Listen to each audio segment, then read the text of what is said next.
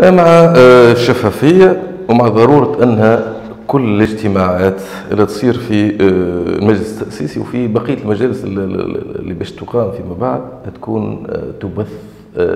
طبعا من حق المواطن هذا اللي يعطيك صوته من حقه أنه يشوف إيش تعمل أنت في المجلس التأسيسي قاعد تبيع وإلا قاعد تحافظ على حقوقه طبعا.